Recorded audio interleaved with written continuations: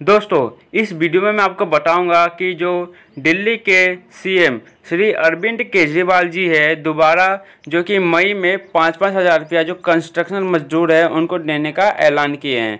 तो मैं आपको इस वीडियो में बताऊँगा कि जो ये पाँच पाँच हज़ार रुपया है किन किन लोगों को मिलेगा और कैसे मिलेगा। तो दोस्तों, इस वीडियो को पूरा देखें और अच्छी लगे तो इसे शेयर करें। तो चलिए वीडियो शुरू करते हैं। दिल्ली के सीएम अरविंद केजरीवाल ने ट्वीट किया है कि दिल्ली में कंस्ट्रक्शन का काम करने वाले मजदूरों को इस महीने एक बार फिर दिल्ली सरकार पाँच पाँच हज़ार रुपये की मदद देगी। दिल्ली के श्रम मंत्री गोपाल राय ने सभी संबंधित अधिकारियों के साथ अहम बैठक की है। चालीस हज़ार मजदूरों को इसका फ़ायदा मिलेगा।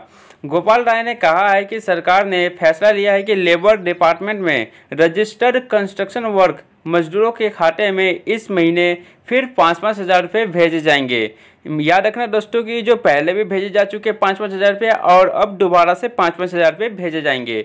इससे दिल्ली में रहने वाले करीब चालीस हज़ार मजदूरों को राहत मिलेगी। इन मजदूरों को पिछले माह भी सरकार ने पाँच पाँच हज़ार रुपये की मदद की थी। दिल्ली के अंदर बड़े पैमाने पर कंस्ट्रक्शन वर्क रहते हैं। लॉकडाउन की वजह से ये सभी काम धंधे बंद है, इसलिए मजदूरों को कल से उनके खाते में यह रकम भेजी जाएगी। दिल्ली में पंजीकृत करीब उनचालीस मजदूर है, जिनके खाते में यह पैसे भेजे जाएँगे।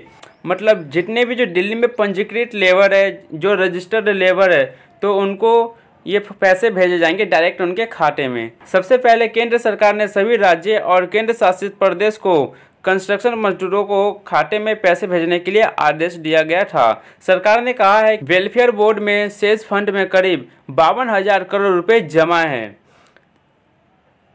श्रम और रोज़गार मंत्री संतोष कुमार गंगावर ने सभी राज्य और केंद्र शासित प्रदेश को कल्याण बोर्ड द्वारा इकट्ठा फंड से डीबीटी डायरेक्ट बेनिफिशियरी ट्रांसफ़र से श्रमिक के खाते में रकम ट्रांसफ़र करने के लिए कहा था। इस फंड में लगभग बावन हज़ार करोड़ रुपए जमा है और इस समय लगभग तीन दशमलव पाँच करोड़ निर्माण श्रमिक इन निर्माण कल्याण बोर्ड के साथ रजिस्टर्ड है।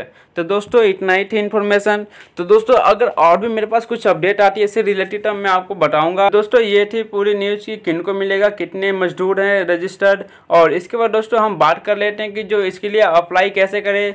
गूगल पे आने के बाद दोस्तों आपको यहाँ से सर्च बार पे क्लिक करके सर्च मारना है Delhi government D E L H I G O भी गवर्नमेंट। तो इसको सर्च मार देना है। इसको सर्च मारने का दोस्तों जो पहला आपके सामने वेब पेज खुलेगा, जैसे कि आप देख सकते हैं, यहाँ पे लिखा है Delhi G O V dot I N आपको इस पर क्लिक कर देना है। तो चलिए इस पर क्लिक कर लेते हैं। तो दोस्तों, इस पर क्लिक करने के बाद आप जैसा कि देख सकते हैं, यहाँ पे जो कि दिल्ली सरकार की ऑफिशियल वेब पेज है, वो हमारे सामने खुल के आ चुका है। तो इसके बाद आपको नीचे स्क्रॉल करते जाना है। स्क्रॉल करने के बाद दोस्तों, आप यहाँ पे देख सकते हैं, लिखा आ रहा है click here to apply for e pass तो आपको इस पर क्लिक कर देना है। इस पर क्लिक करने के दोस्तों, आपके सामने कुछ ऐसा खुल के आ जाएगा। यहाँ पे आप देख सकते हैं, लिखा है, दिल्ली सरकार, आपकी सरकार। तो अगर दोस्तों आपको हिंदी में ज़्यादा समझ आता है तो आप यहाँ पे क्लिक कीजिए और अगर दोस्तों आपको इंग्लिश में ज़्यादा समझ आता है तो आप यहाँ पे क्लिक कीजिए। तो मैं अपना हिंदी पे क्लिक कर लेता हूँ। इसके बाद दोस्तों आप यहाँ पे देख सकते हैं कि लिखा है यहाँ पे, अगर आप पहले से ई पास एप्लीकेशन भर चुके तो स्टेटस चेक करने के लिए क्लिक करें। पर दोस्तों, हमें तो पाँच हज़ार रुपया के लिए जो फॉर्म भरना है तो उसके लिए आपको जो यहाँ पे लिखा है ये ऑप्शन आप देख होंगे, यहाँ पे आपको क्या मदद चाहिए? तो जो यहाँ पे ऑप्शन है, इस पर ये जो बना हुआ है, इस पर आपको क्लिक करना है। तो चलिए इस पर क्लिक करते हैं। इस पर क्लिक करने बाद दोस्तों आप यहाँ पे देख सकते हैं, हमारे सामने बहुत सारे ऑप्शन खुल के आ चुके हैं। भोजन की आवश्यकता है राशन की आवश्यकता है कंस्ट्रक्शन मजदूर के लिए पाँच हज़ार भट्टा तो हमें इस पर क्लिक करना है। इस पर क्लिक करने के बाद दोस्तों आपको जो यहाँ पे सबमिट का बटन है तो इस पर आपको क्लिक कर देना है।